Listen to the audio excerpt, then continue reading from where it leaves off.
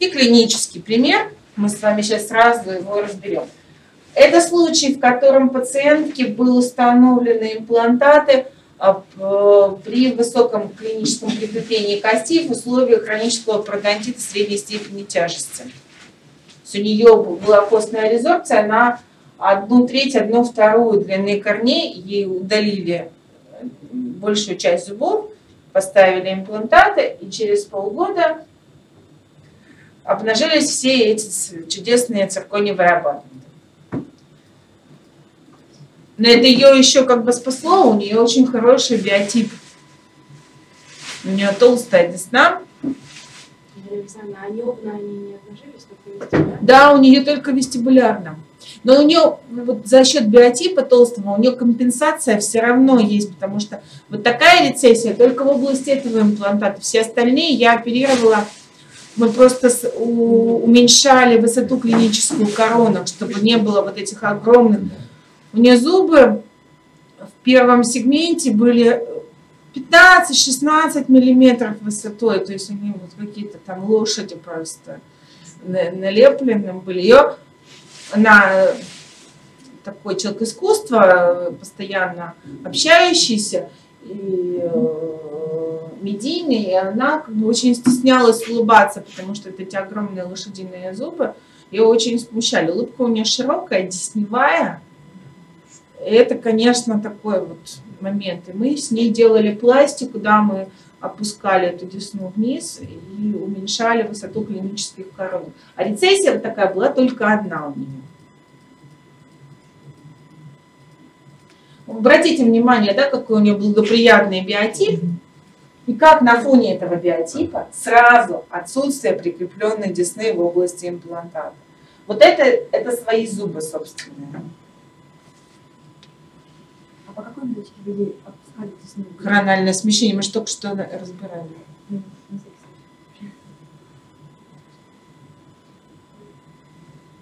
Коронку мне пришлось временную, мне не сделали, так получилось, я ее обрезала просто то, что было сама, бором.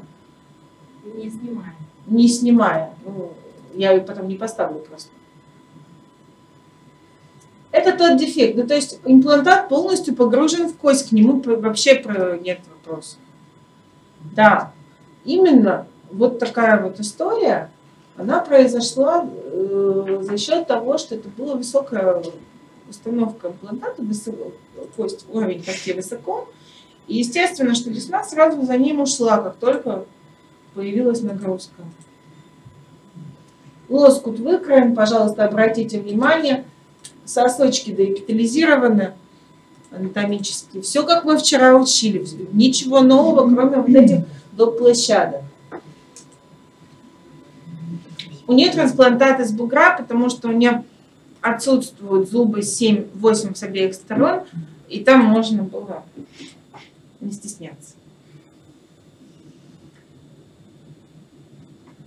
И вот депитализировали. Ну, вот приблизительно, да, объем. Вы вчера спрашивали, кто у меня вчера спрашивал про депитализацию. Тут вот прямо детально видно, как вот, что на скальпеле остается. такую как э, транспарант, он растягивается. Толстый. Ну, с бугра он такой, вообще он таких там, да, плотный всегда. Вот он зафиксирован. И еще я прижала его, вот, вот эти швы, это фиксация, а здесь я еще прижала его еще двумя швами к межзубным сосочкам, потому что он немножко такой прощевидно как-то провисал, и мне показалось, что ему не, недостаточно этого прижатия будет сверху, я его еще внутри еще перепрошила весь. Это уже фиксация сопоставления да, хирургического сосочка с анатомическим депитализированным, двойной сосочковый объемной шов,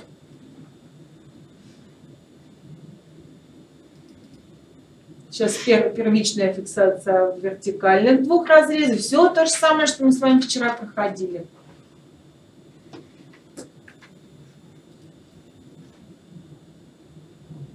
вертикальное швы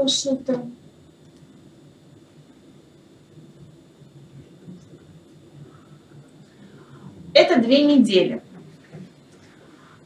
Я, это очень старая работа на самом деле моя. Я ее, во-первых, показываю, потому что по сей день пациентка у меня наблюдается, и у нее все очень хорошо, и я могу показать ее работу как бы спустя 8 лет, что у нее абсолютно как бы отсутствие рецидива, все стабильно и прекрасно. А, особенность работы мукогенгивальной в области имплантов. У них очень долго флотирует десна. Вот на зубе через две недели, помните, мы вчера да, с вами смотрели фотографии, там уже абсолютно все встало, там уже везде рубцы, уже все, все, все ты снимаешь швы, у тебя идеальное прилегание лоскута. Вот в области имплантатов просто не пугайтесь. Так должно быть. Я и пациентам то же самое говорю. Вот у них встает где-то через полтора месяца. Это связано все-таки с тем, что это металлический штиф, что это нарушение трофики, и ткани там по-другому работают. У меня вот это именно, вот то, что он вот немножечко в области коронки отходил, вот меня очень напрягало. Я долго ее вела с этим, каждую неделю к себе приглашала, потому что мне было непонятно, что он так себя ведет как не прикрепленная. Да, да, она флотирующая такая, вот и она так выглядит. еще все равно. Там все хорошо, там просто потому, что меня немножко напрягала вот эта история. Потом я как бы с момента, когда я их просто пачками начала оперировать, я поняла, что это так у всех и бывает. И оно, не надо больше бояться этого. Мы сняли швы. А потом циркониевый так вы оставили. Именно это, и именно это ничего не делали. Я вообще ничего не делала, потому что я делать ничего не умею. Нет, нет, не ортопед, ничего, не сам дизайн, а варник другой, да, никакой не брал. Нет, мы, нам тогда было, да, там много насущных просто проблем, и мы уже прооперировали, оставили и занимались всем остальным. А потом ее перепротезировали тотально целиком. Это уже было немножко спустя какое-то время. Я покажу, у меня же есть, по-моему, здесь фотографии эти конечные, последние. Уже спустя много лет у нее тотал сделан, просто все переделано было. Ну, там пришлось все разбирать, все эти конструкторы у нее сложные там были. Как обрабатывали абат? М? Как вы обрабатывали? Когда А старый обрабатывала, я его бором зачистила, потому что он был ну, в контаминации. Да, конечно. Вот с продонтологическим бором я его зачистила ультразвуком, как всегда. Вот это полтора месяца. Вот они только-только, вот видите, он начинает вот это место, сосочек, как бы вставать, утягиваться на место.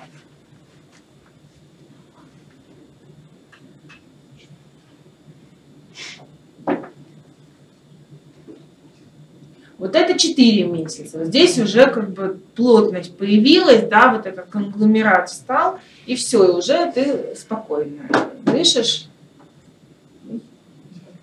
Ну вот, да. И на самом деле можно у Сони потом попросить, и в перерыве будет минут, когда я вам ее покажу, вот буквально осенью она приходила уже со, всем, со всеми новыми работами, со своими, мы делали фотографию. Но в любом случае у нее очень хороший стабильный результат, он стоит, я очень довольна.